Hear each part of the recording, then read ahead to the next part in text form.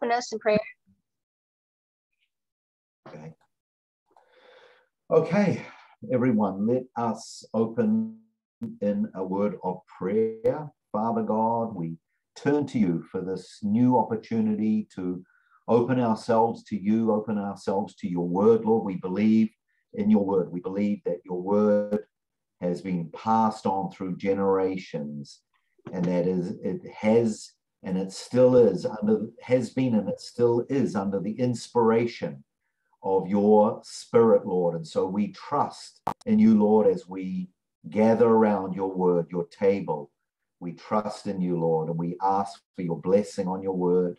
Enlighten something afresh to us and may it penetrate into our hearts lord as we think of the parable of the sower and the different uh, grounds represented in uh, the in the heart of man. The thorny ground the rocky ground the shallow ground and the good soil lord.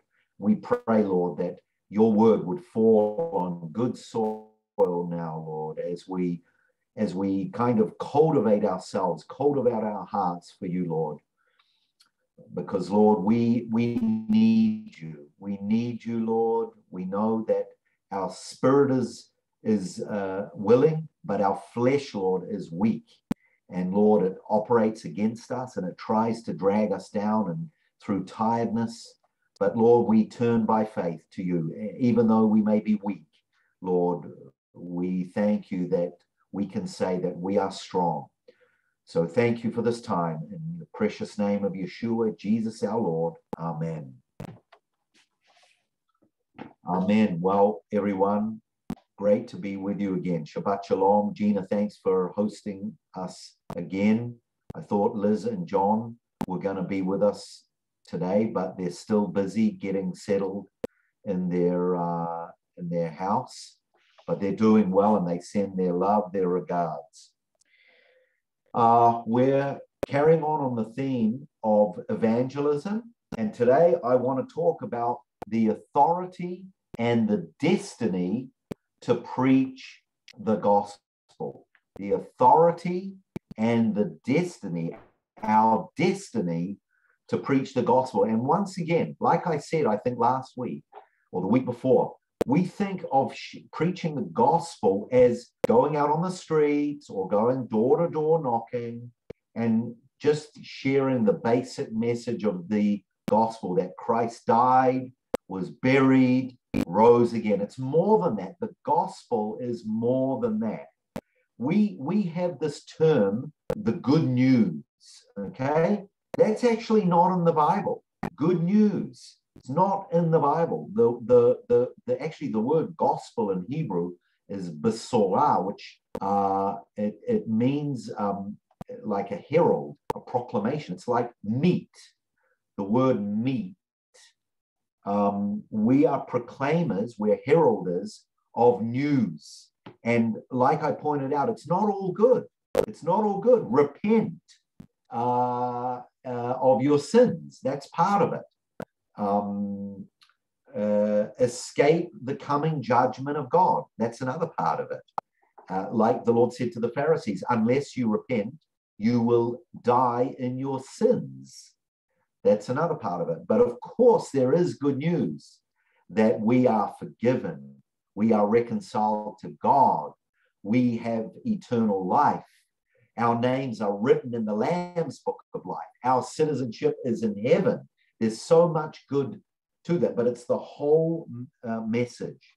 And today we're talking about the authority that we have and our destiny actually to share. And by the way, it's not just to non believers that we share the gospel, because, like I gave in the first message about the gospel, we all are like a building that has many rooms in our lives.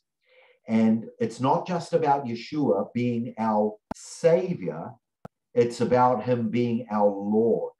And there are many rooms in our lives that he may be Savior and he may be Lord, but there may be other rooms that he's not Lord yet. And there's a fight going on because we still want to be the Lord of that room.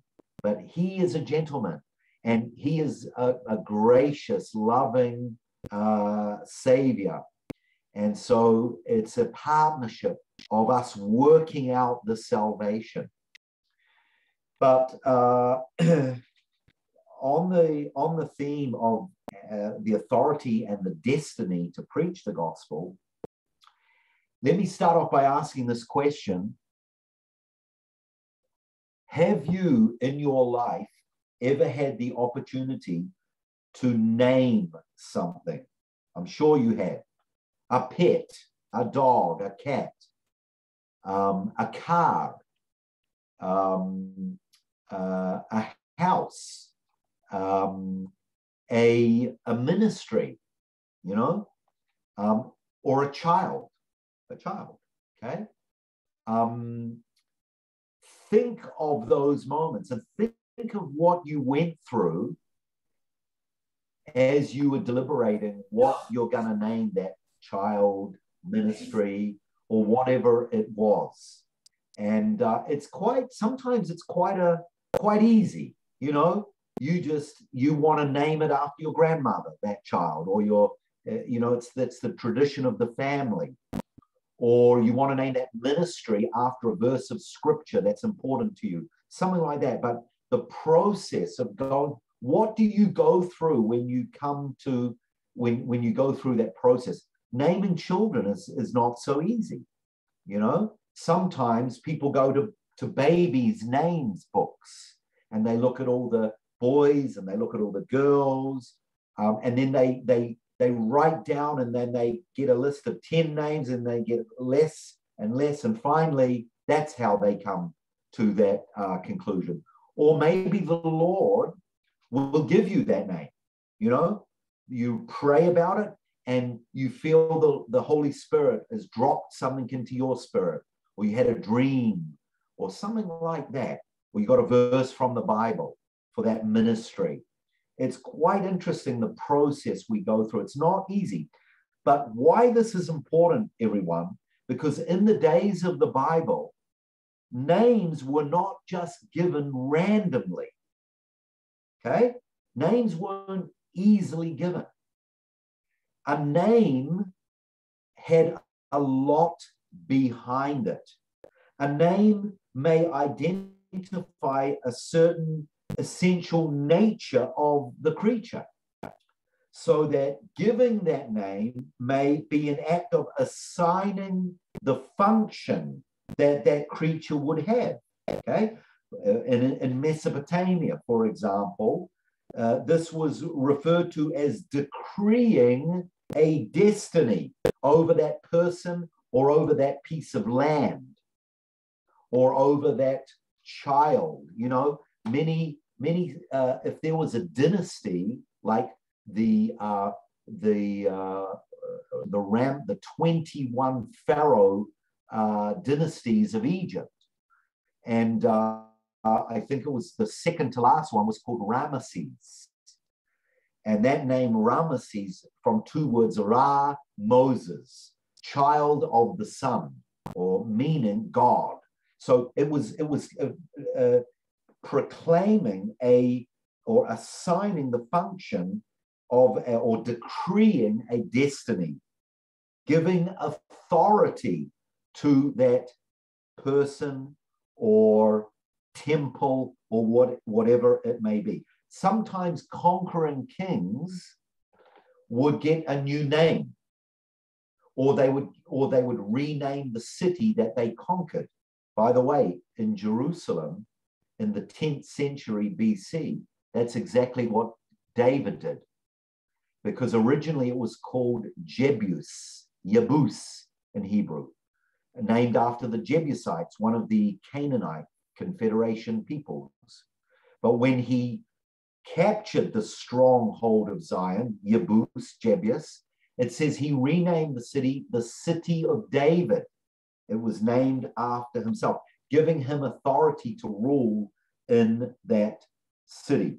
Sometimes in the Bible, when an event happened, like for example, Abraham offering up Isaac, uh, remember what the angel said, Now I know that you fear me and in blessing I will bless you, and in multiplying I'll multiply you seed, and uh, uh, and you will possess the gates of your enemy. And then he looked over and he saw uh, uh in the thickets the ram, and it says there he called the name of the place uh, Adonai Yireh, which we say in English Jehovah Jireh, which literally means the Lord will see to it. Okay. And so that's a, an example of an event happening, and he called the name of the place something connected to that story. So, a part of naming, there needs discernment as well as history, or as well as tradition, or as well as a custom. Sometimes, in fact, a lot of the time, discernment is needed. And there's lots of other cases um, where this happens in the scriptures. When Jabez was born, it says they called him Jabez because he was born in suffering or born in grief. Remember Hannah when she couldn't have children and she cried and she was weeping and finally she she uh, she was able to have children and she gave birth to Samuel. And Samuel in Hebrew is Shmuel, which means God has heard.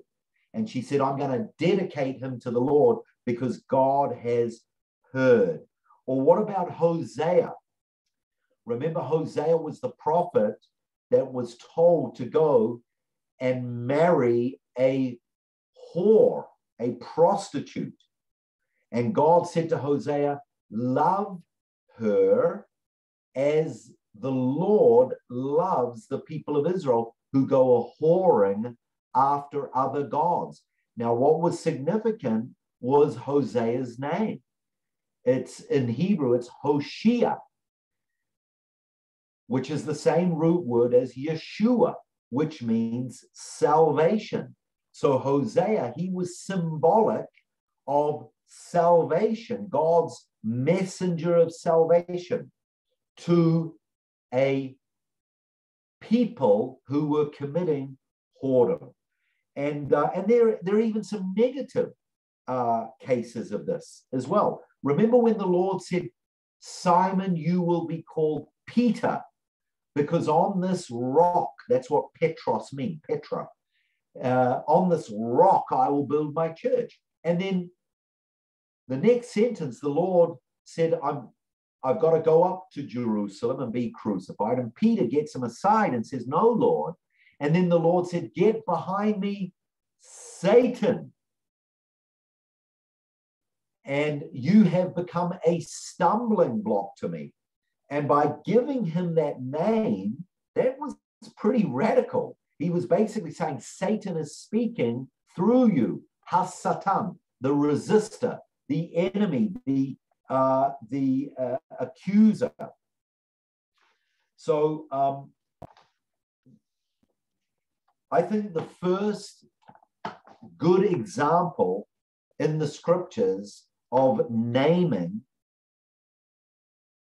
is something that I've referred to a number of times. It's in Genesis 2:18. And the context is really interesting. This is the story where God had finished his creation, saw that everything was good, but then God himself actually saw that something was not good. And it, it says in chapter 2, verse 18 of Genesis, the Lord said, It is not good for man to be alone. I will make a suitable helper for him.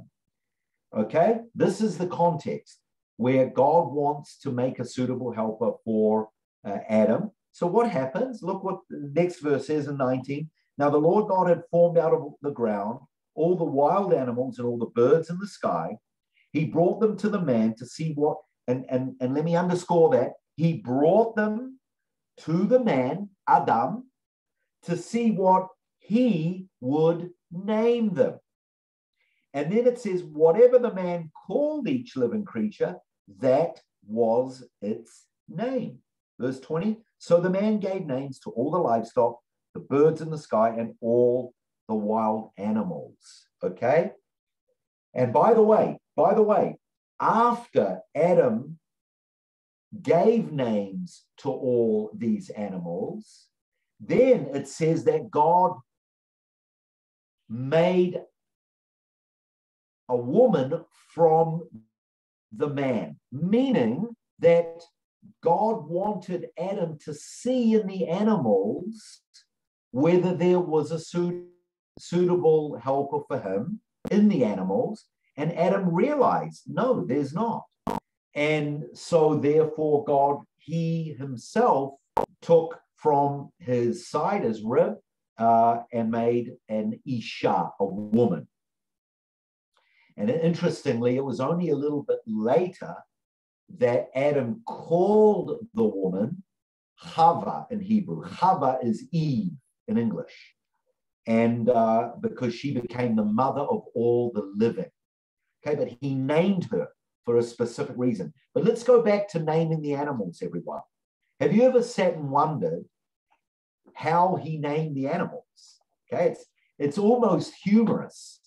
You know, what did he do when he saw a cow, when he saw a monkey, when he saw a pig, when he saw a horse, when he saw a goat? What did he do? And um, there's a couple of different theories on this.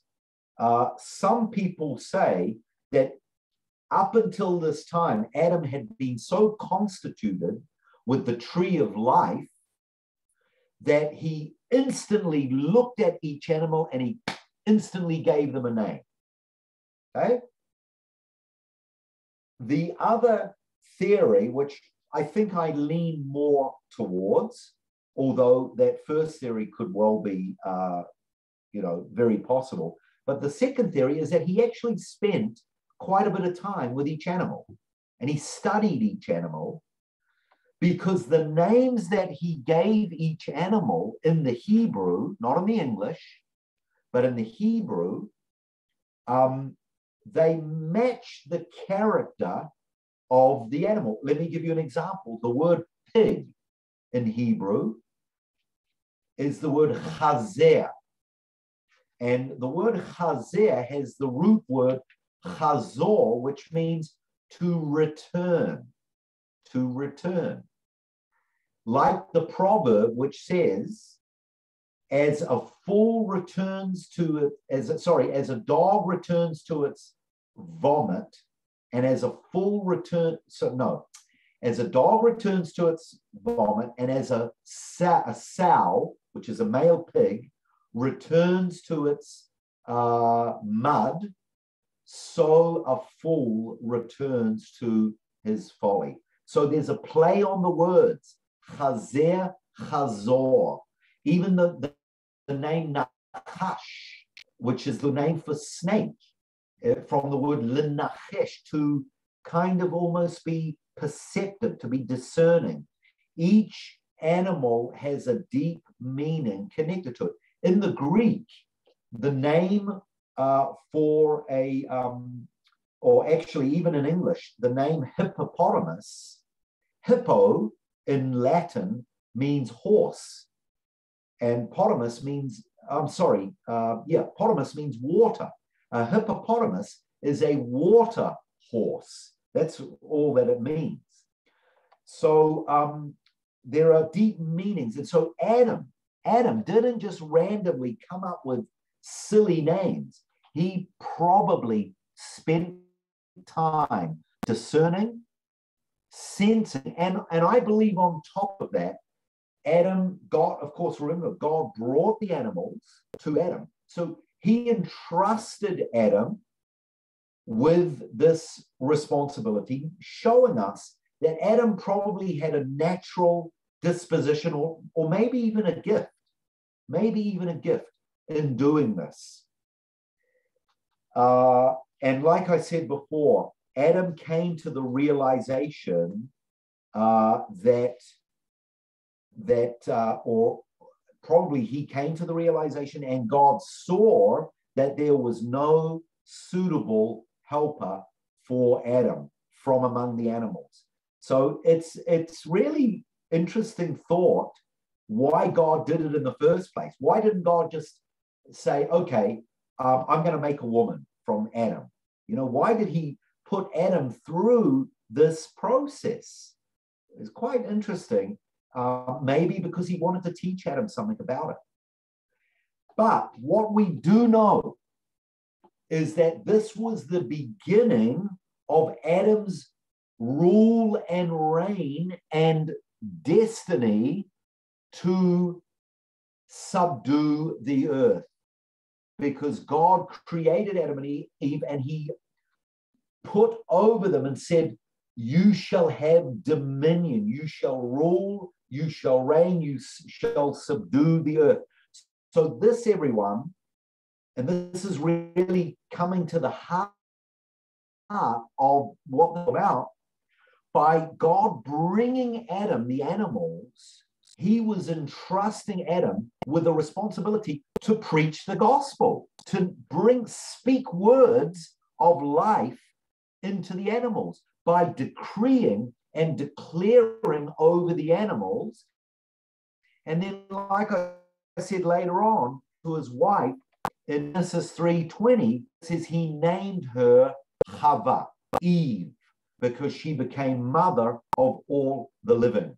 So this shows us how powerful, how creative our Adam's words were. The creative power that he had in decreeing and declaring is quite profound.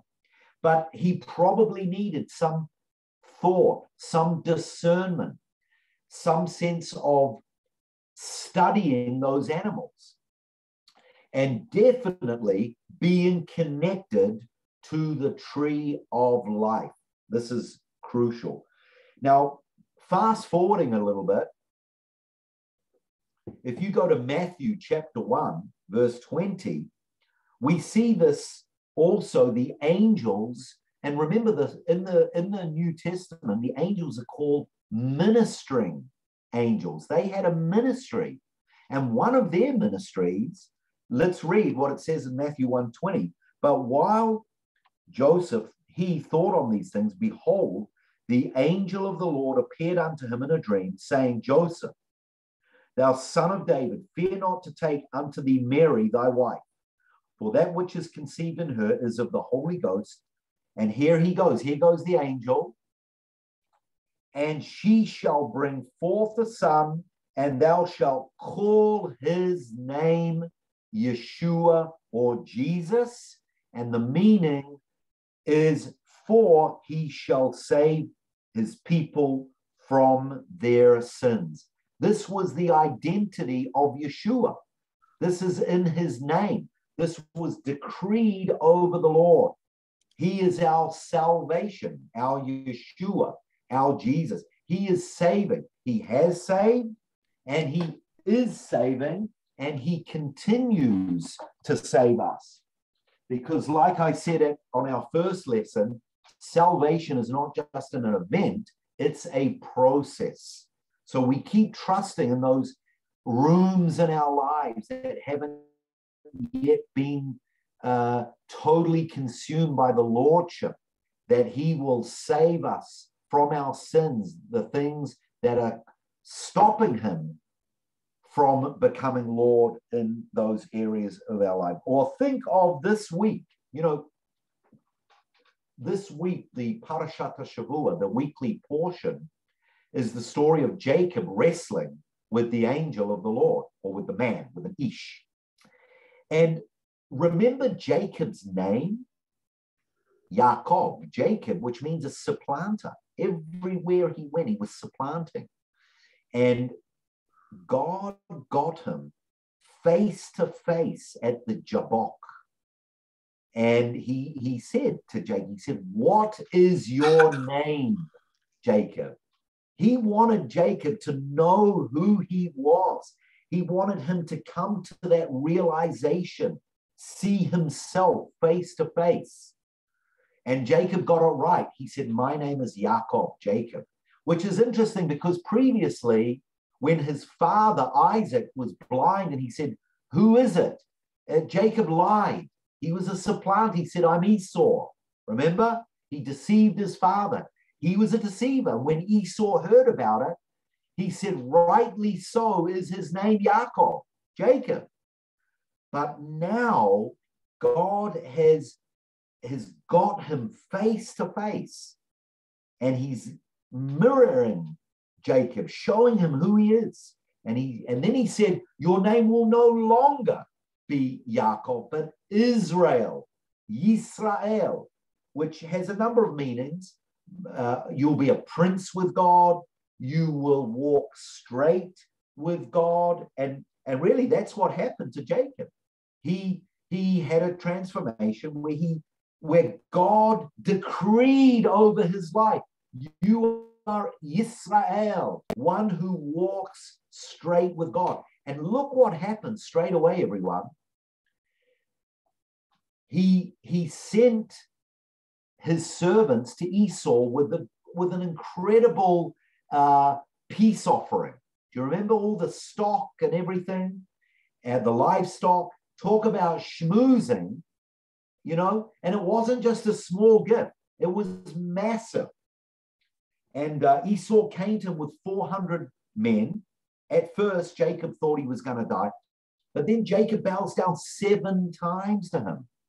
And when he gives him this gift, he doesn't just give him a gift, he doesn't just give him compensation, he gives him compensation that will procreate itself, meaning Jacob, he could have gone this way, he could have gone that way, but no, he went straight.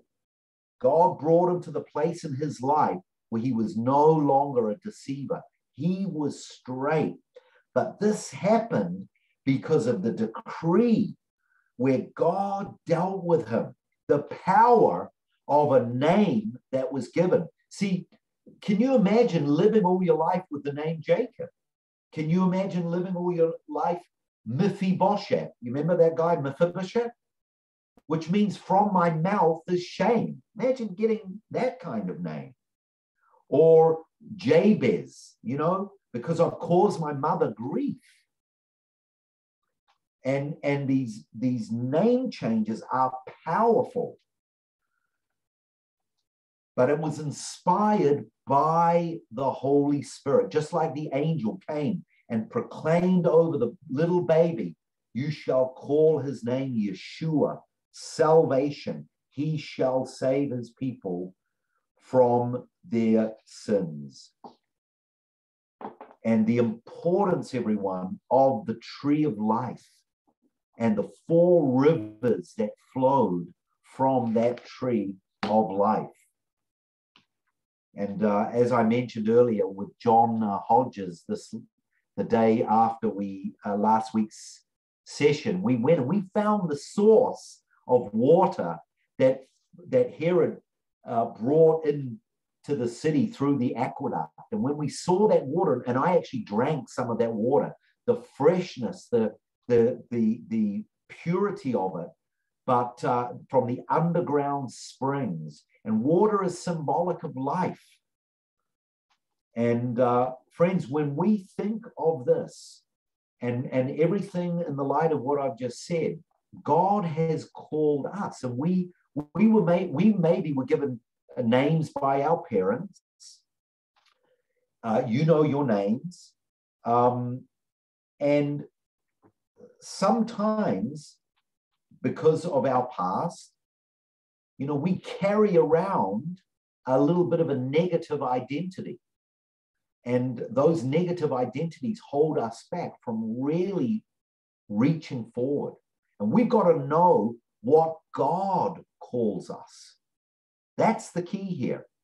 We've got to know what God calls us. What does He label us? What does He decree over us? It's really important. Have we come face to face with the Jacob in each one of us? And that's a good thing. That's a good thing because the I think it was St. Augustine who said the unexamined life is a life not worth living. Because once we come to that realization, then we come face to face with the Israel, which is in each one of us. Remember, I shared the other week when the Lord saw Nathaniel? He said, Here is an Israelite in whom there is no guile. Okay?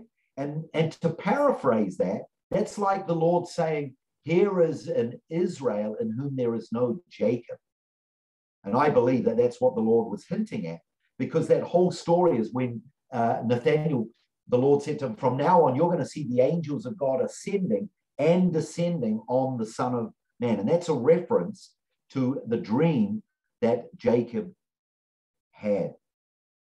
And uh, and when Nathaniel got that, when he when the Lord Jesus said, "Here is an Israelite in whom there is no guile," did you see the reaction of Nathaniel?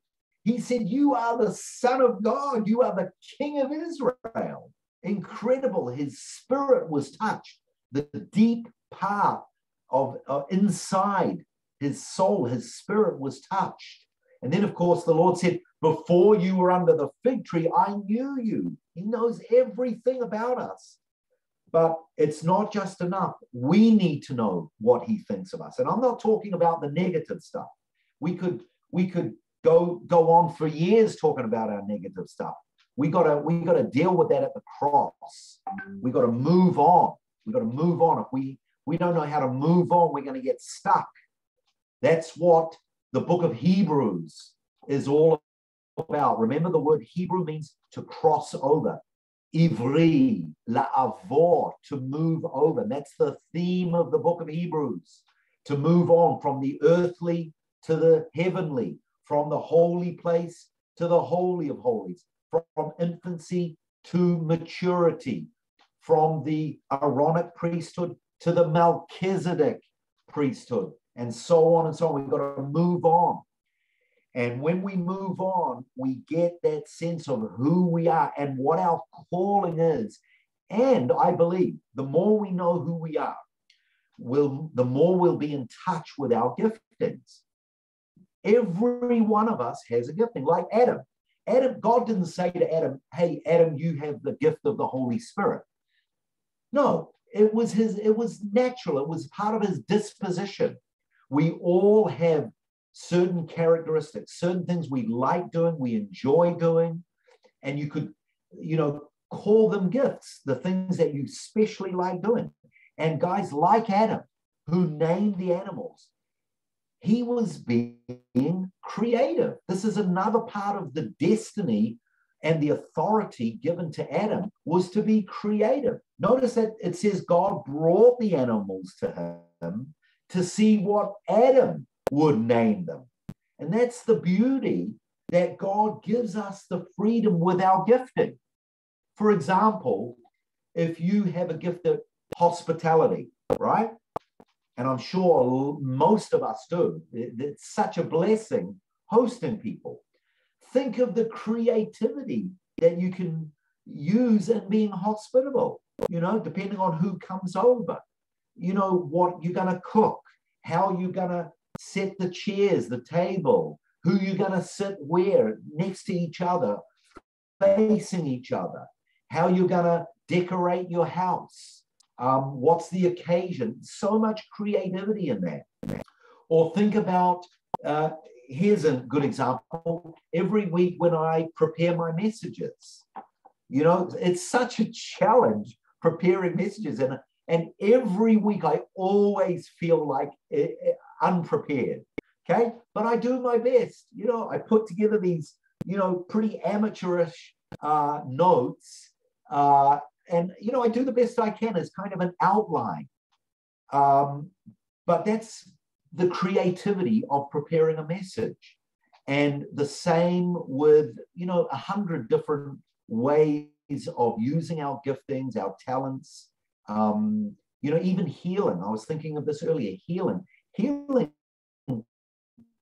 The the ministry, just the physical. You know, your words can bring deeper healing than sometimes physical healing. You know, you can give a word in season, a word from the scriptures that can change someone's life. I've heard testimonies and it can be the most abstract, the most unthought of thing, a simple, you know, hey, you look really nice today. You know, I just want to say, you know, I appreciate you or whatever. You don't know the power of our words. Death and life are in the power of the tongue. So we have authority, everyone. We have a destiny. God has called each one of us. But like Adam, we need to stay close to the tree of life. Okay, we all know the danger when we're operating in the tree of knowledge. And let me tell you, I'm not going to go into detail, but this week I was beaten up by someone who was absolutely operating from the tree of knowledge and they said things to me they said things over me and i was like just beaten. And it took me a, a day or two to really recover. And it was so uh, so nasty. Uh, words are powerful. And uh, but what about when you know the people that that i i was talking to who helped me work through this, uh, you know, gave me words of life to drive out that darkness. You know, in Isaiah chapter 11, it says, A root or a branch shall come forth out of Jesse. Uh, from his roots, a branch shall bear fruit, and the Spirit of the Lord will rest upon him the Spirit of wisdom, the Spirit of understanding, the spirit of the counsel of, and of might, the spirit of the knowledge and fear of the Lord. And he will delight in the fear of the Lord. He will not judge by what he sees with his eyes or decide by what he hears with his ears, but with righteousness he will judge the needy. With justice he will give decisions for the poor of the earth. Guys, this is a messianic prophecy about Yeshua, about our Messiah. And it talks about the Spirit of the Lord resting upon him. And out of the flow, like the four rivers from Eden, would come wisdom, understanding, counsel, might, knowledge, the fear of the Lord. And he won't judge just by what he sees or what he hears, but with righteousness he will judge. And with justice, he will make decisions. Guys, we are under the anointed one. Yeshua is our head. He's the anointed one. That's what the word Christ, Mashiach, means anointed one. We remain under his headship. We have the mind of Christ, it says in First Corinthians. And we can also operate from that tree of life. And we can get the wisdom, we can get the strategy when we go out and we take the gospel, whether it's to non believers, whether it's to people in the church, whether it's to people in our home. We have that creative ability in each one of us. And we have that authority, like Yeshua, who said uh, uh, uh, in, in uh, John 5 19, truly, truly, I tell you, the Son can do nothing by himself unless he sees the Father doing it. Whatever the Father does, the Son does also. And the Lord did the most unorthodox things. This is the amazing thing. He, the Spirit of God, led Yeshua to do the most crazy, what we would consider, what the people of his day considered unorthodox healing on the Sabbath, touching lepers, right? No wonder he came under such criticism and false accusation that he was doing things by Beelzebub. He, he spoke publicly with a woman, a Samaritan woman. Talk about unconventional and uncultural and, and you know, here's the buzz term, politically correct, right? He was not politically correct. Render to Caesar the things that are Caesar's, he said and render to God the things that are God's. And then he engaged in doctrinal conversation. And sometimes it's not black and white when it comes to even doctrine, everyone. Because at times he said, My peace I leave with you. And then on the other hand, he would say, I have not come to bring peace, but a sword. You see, the key here, everyone, is knowing when we are operating from the tree of life and when we're operating from the tree of the knowledge of good and evil, because that tree brings death. That's what the Lord said. The day you will die. Let me give you an example. When Paul wrote to the church at Rome, the book of Romans, and then uh, James wrote his epistle, the book of Romans is all about grace, it's all about faith. Whereas the book of James, it's all about faith without works is dead, right? So it's the opposite. Well, just imagine if when uh, Paul and James put their letters in the mailbox, and by accident, the mailman delivered those two letters to the wrong addresses. And James's message about faith without works arrived in Rome, and uh, Paul's epistle, which was supposed to go to Rome, handed in the uh, landed in the hands of the twelve scattered tribes. It would have been a disaster. So there were specific words at specific times for specific people.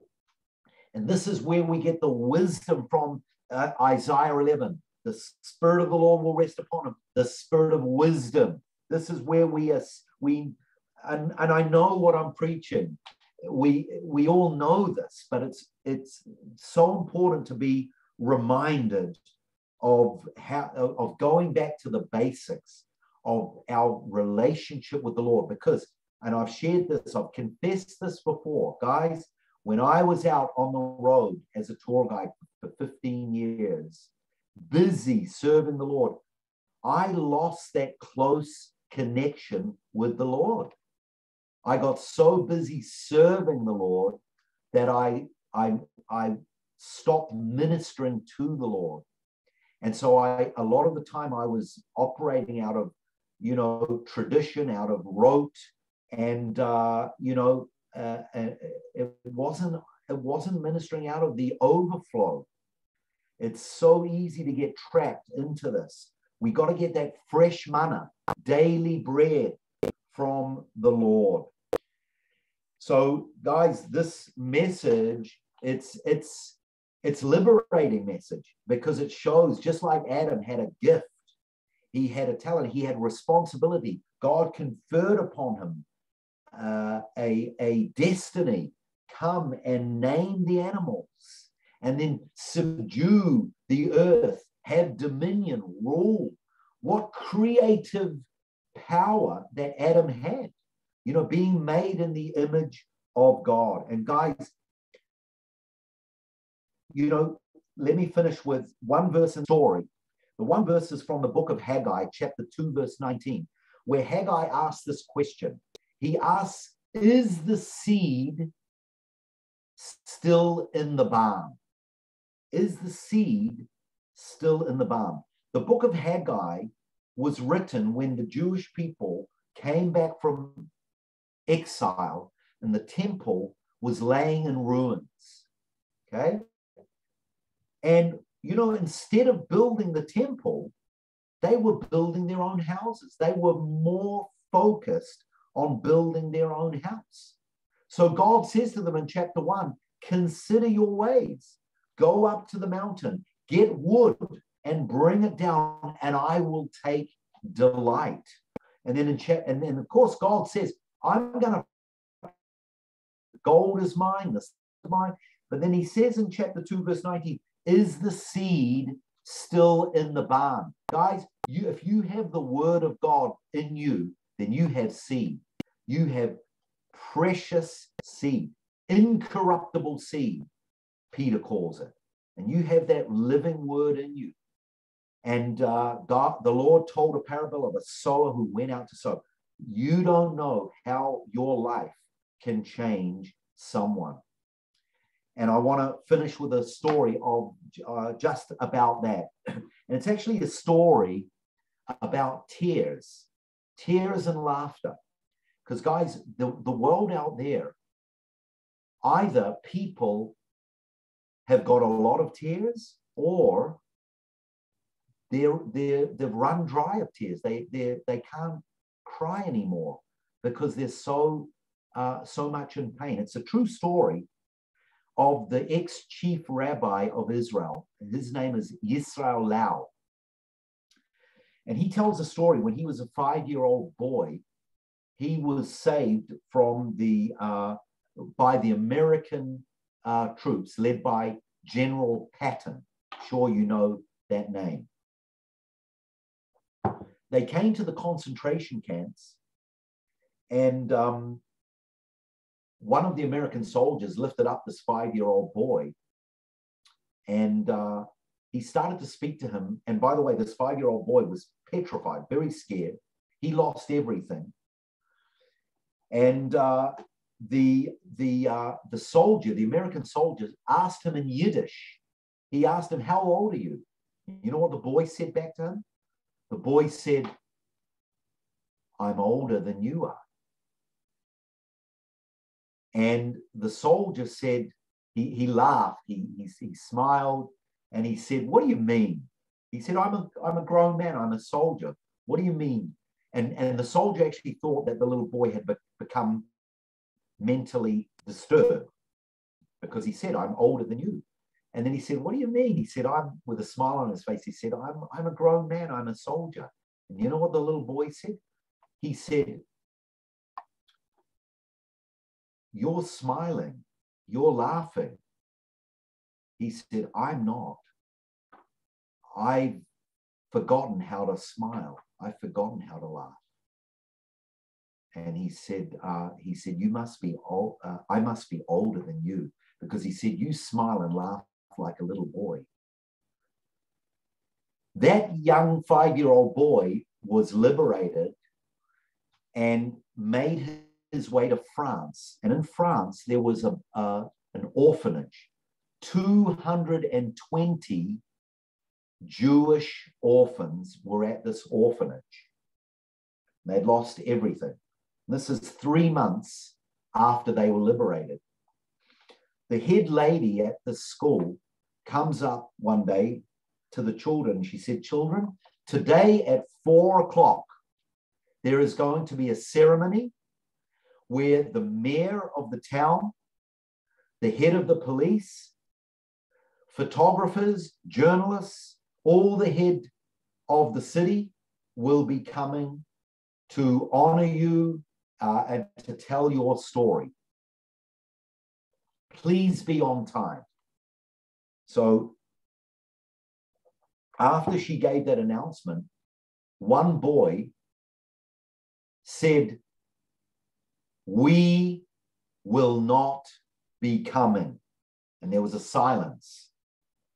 And he said, We will not be coming because why should we be used in the press, in the newspapers, to tell a good story about where were you when the Nazis were destroying my family?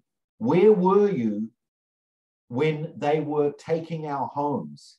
And then he said, some of you even, some of these French people even collaborated with the Nazis. No, we must not go. And the head lady was listening as all the boys agreed. And then she, when everything was silent, she said, Listen, she said, I understand. But she said, Firstly, there will be a gift, a present for every one of you. Now, let me tell you, uh, none of these kids had received presents for years. And then she said, on each of your gifts will be your own personal name. Okay? Now, these kids, they'd lost their names. They only had a tattoo with a number. They didn't have a name. They'd lost their identity. And to get promised this present was very tempting. And then she said, Please, would you do it for me? So they thought about it. And then the head boy, he said, okay, we will come. We will be there, but we will protest. We will not participate. We will not join in the celebrations. And when we go there, we will sit down. We will keep our heads down. We will not make eye contact with anyone. Sure enough, four o'clock came. Everyone arrived. They, the boys were there. They had their heads down and they had one speaker after another, after another, after another. And then finally, the, the, the uh, host said, before we finish, there's one last speaker that I would like to invite up. And his name was Mr. and I forgot his name. he also is a Holocaust survivor. And he is the man that financially sponsors the orphanage, the 220 boys. Now, when the 220 boys heard about this and they saw and they heard that he was also a Holocaust survivor, and they thought, you know, he's one of us, they lifted their heads. Now, the man, he was an elderly man, he got up, went to the microphone, everyone, and he just said three words. And the three words were in Yiddish. And it was, I forgot the, the words, but the, the Yiddish word for children is kinder. I think it was kinder, label kinder, or something like that, which translated means the children. Oh, the dear children. That's all he said. And then he started weeping. And he started weeping and he started weeping. And then he uncontrollably broke down in tears. And he went on for about a minute. Now, all the kids still had their heads down, but they started lifting up their heads, looking at each other. And all the kids had tears also down their cheeks. And then for the next five minutes, everyone, 220 boys uncontrollably just wept and wept and wept. Five minutes of mass weeping. So at the end of the five minutes, the eldest boy, who was 19 at the time, his name happened to be Aharon, Aaron, he got up, he went up to the microphone, and he said, he said, I want to thank you for inviting us today. He said, not because uh, of what happened before. He said, we, we weren't interested. We disagreed, but I want to thank you. And he turned to the man, Mr. Whatever, and he said, for the gift of tears, the gift of tears. Because, and then he told a story. He said, he, he said, uh, when I was, uh, sorry, he said, six years ago was the last time I cried. And he said it was when I was watching the Nazis brutally murder my father. And he said, I wouldn't cry. I, wa- I started crying, but then I stopped because I didn't want to give the Nazis the satisfaction of seeing me, seeing a Jew weak crying. And from that time on, I didn't want to cry because to me, it was a symbol of weakness. And we are survivors. And so that area of crying and laughter, he said, I haven't laughed. But he said, What happened today? He said, uh, has so deeply impacted me. And then he said this he said, because the last three months since I've been liberated, he said, I haven't slept, I haven't slept a full night's sleep. And he said, This is the reason why. He said, Because I'm afraid of my future. And the reason why I'm afraid of my future is he said, Because I can't cry, because I can't laugh, he said, I'm not a human. I'm not a human being. Who would want to marry me? How could I be a father? How could I ever have children? I'm not a human. But then he said, These tears today have made me feel like I'm a human once again. And that was the end of the ceremony. It was very, very moving. Now, guys, that's not the end of the story. One last part of that story. 60 years later, 60 years later, one of those little boys, that five year old boy who was Israel Lau, he, they, by the way, they all immigrated to Israel. And that five year old boy grew up and he became the chief rabbi, the chief Ashkenazi rabbi of Israel. And in the 2000, the year 2010 to 2020, uh, uh, actually, sorry, to, from the year 2000 to the year 2010, there were terrible suicide bombings here. It was called the Intifada.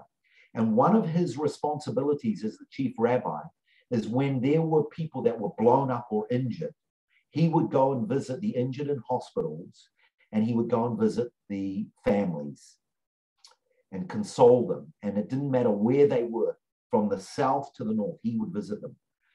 And after such a, a case, he was in a hospital in Tel Aviv. And he was in a room ministering to a, uh, a, a survivor, a, uh, a terror, uh, a wounded uh, person in terrorist attack. And after he prayed for him, he went out into the corridor where there were lots of nurses and doctors waiting to shake the chief rabbi's hand. The chief rabbi is a, you know, I'm not going to say he's as big as the Pope, but in Israel, the chief rabbi is a big man.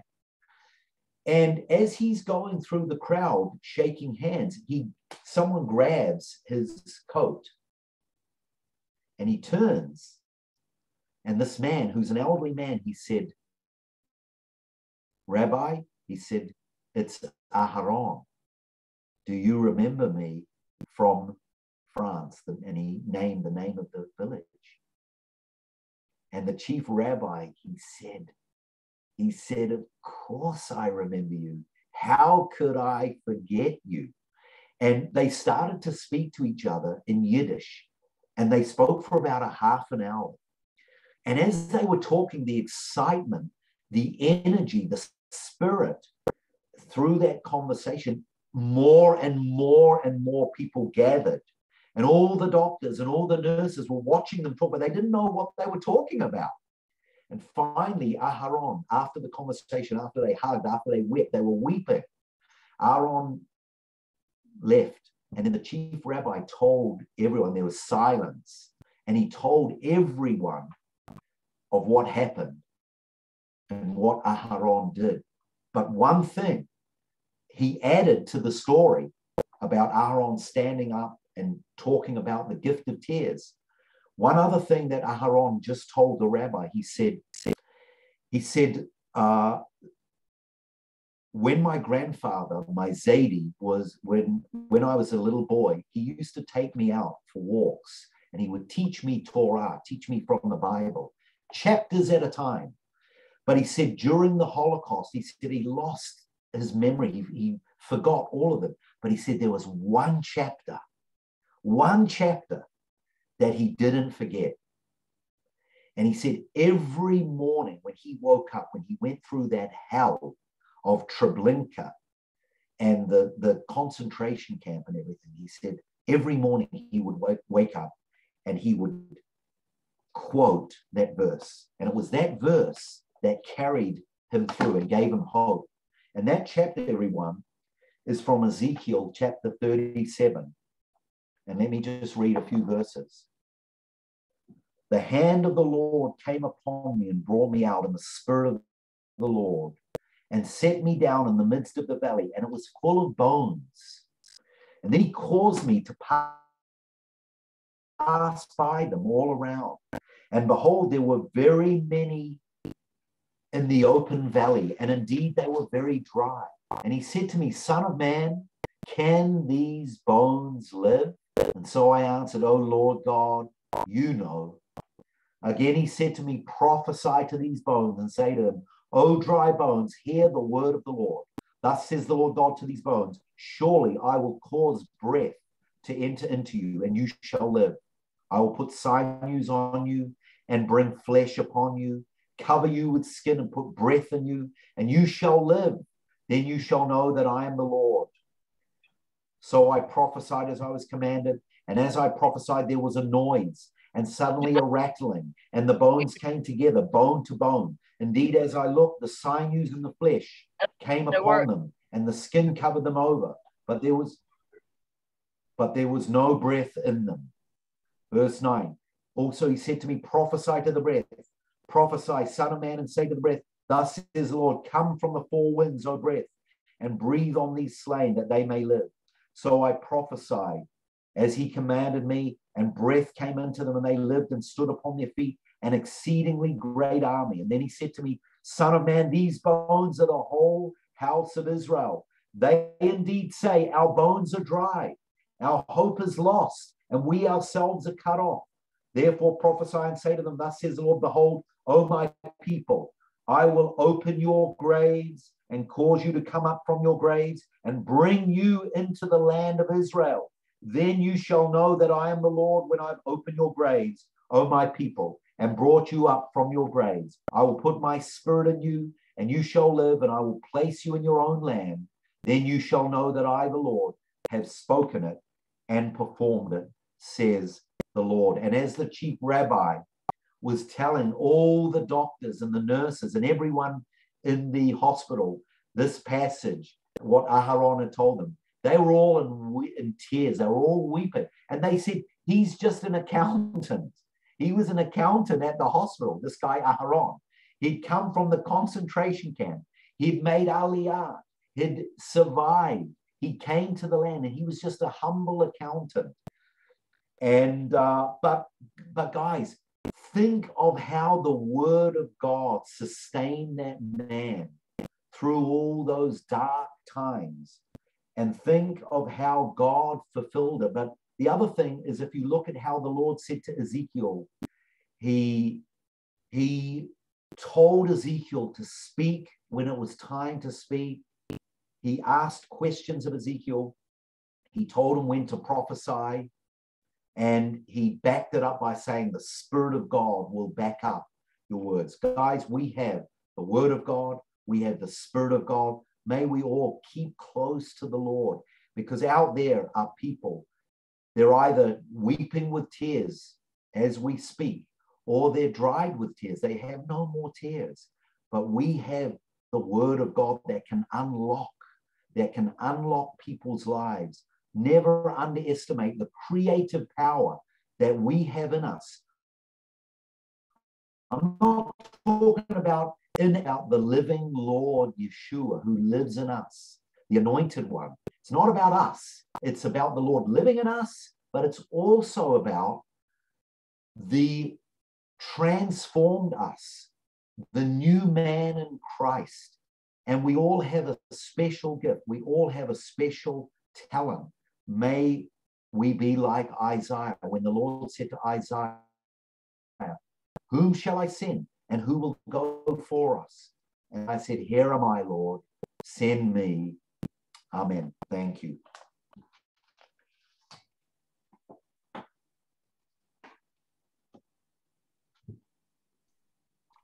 Thank you for the message this morning, Aaron.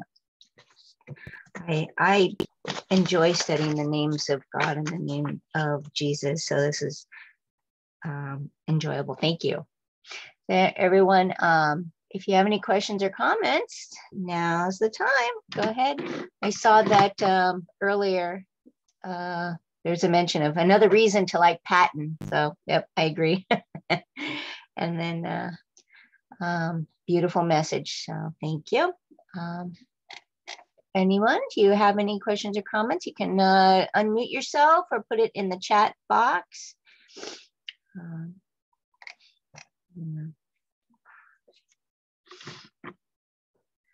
um, and this um, actually, I would I would love more in-depth studies about the names of God and names of Jesus, Aaron. So we can put that in the possibility bucket for later. All right.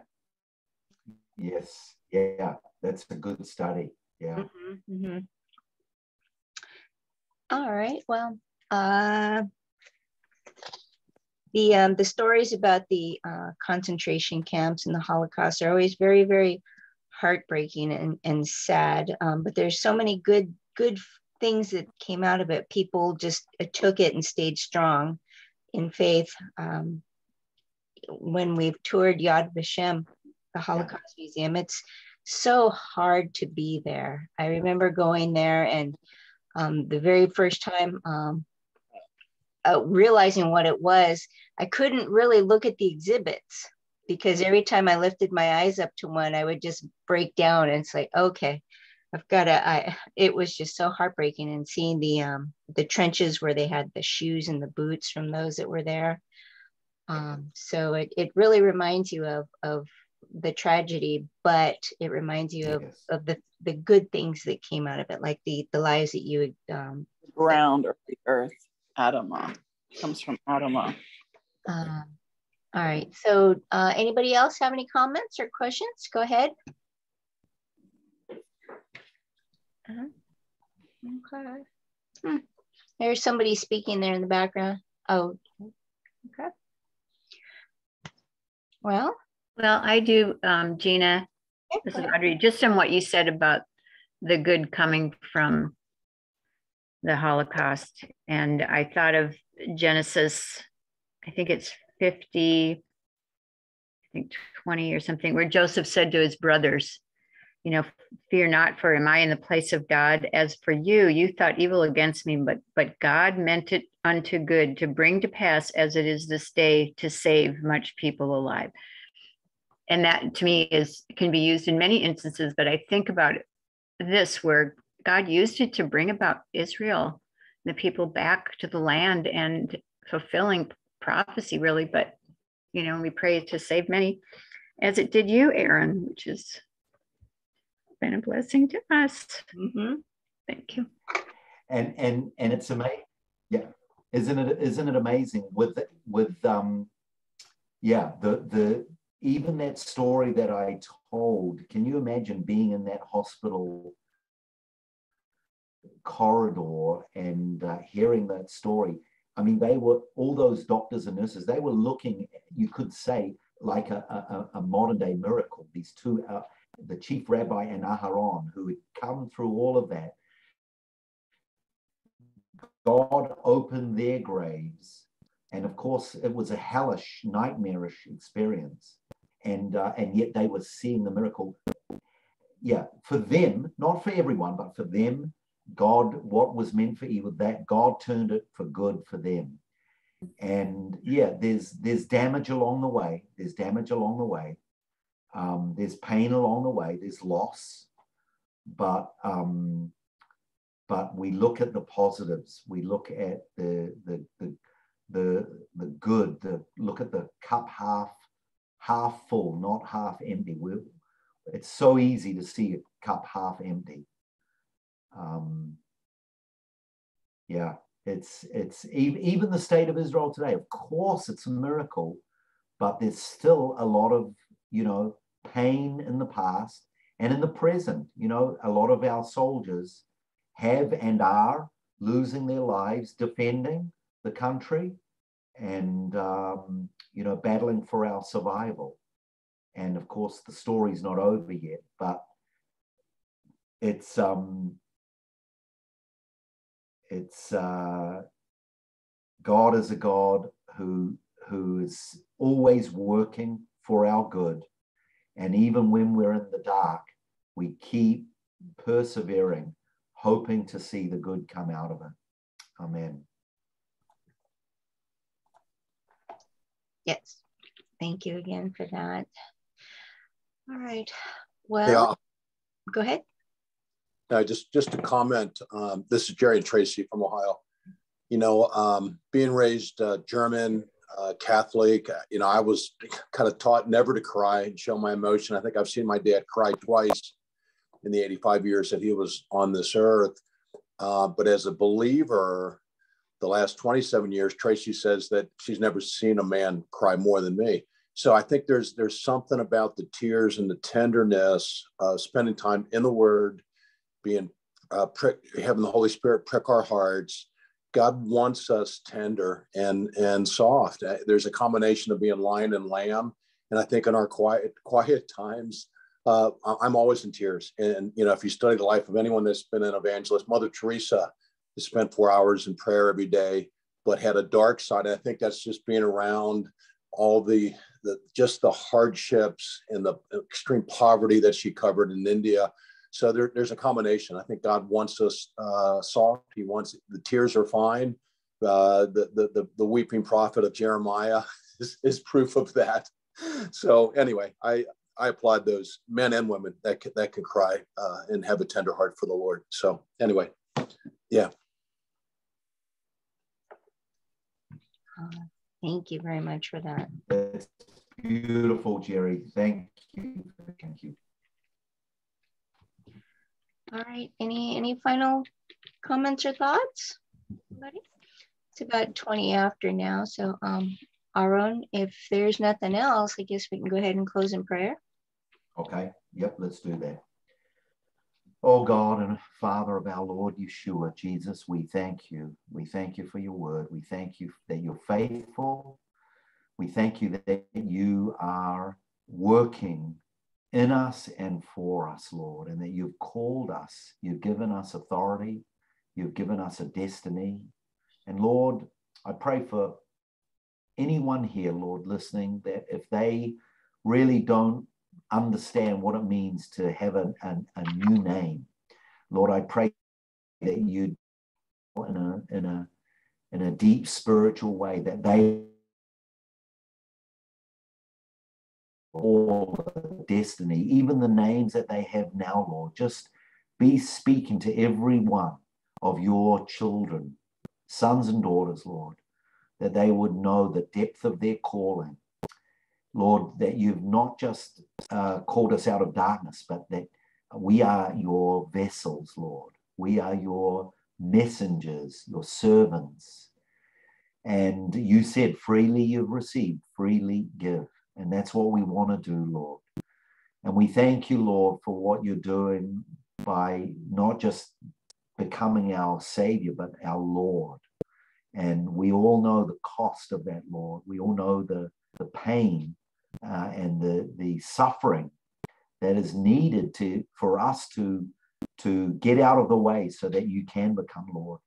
And so, Lord, as we take your gospel, as we take the whole counsel of God to wherever you're, you're called us and wherever you're leading us, pray, Lord, that you give us the wisdom that we would keep close and keep uh, feeding on the tree of life, Lord. You said, uh, choose life.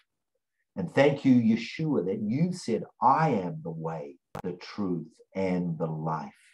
We love you, Lord. We thank you that you love us. We thank you that you so loved the world, Father God, that you gave your Son.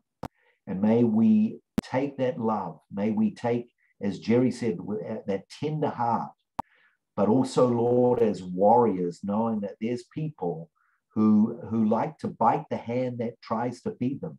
Give us wisdom, Lord. Give us discernment as we, like Adam, as we, like Adam, go and uh, declare names, naming people, sharing your word, Lord. Show us how. Show us how to share your word. Show us how when we're not to share your word. Lord, so that we can use the gifts that you've given us, the talents, and that we can see people find you, Lord, people that um, that need to cry, or people that have forgotten how to cry, or people that have forgotten how to stop crying, Lord. We want to see lives change, Lord. We want to pray for our families who don't know you, Lord. All those members of our families we want to bless them with your salvation, Lord. Use us in some way. Give us the boldness, give us the courage. And Lord, wherever we go, may we be the light, may we be the salt. Lord, thank you for my brothers and sisters as we bless. יברכך אדוני וישמרך, יאה אדוני פניו אליך ויחונך, יישא אדוני פניו אליך וישם לך shalom. The Lord bless you, keep you, make his face to shine upon you, be gracious unto you. May the Lord lift up the light of his countenance upon you and give you his shalom, his peace. Hashem Yeshua, in the name of Yeshua, Jesus our Messiah. Amen.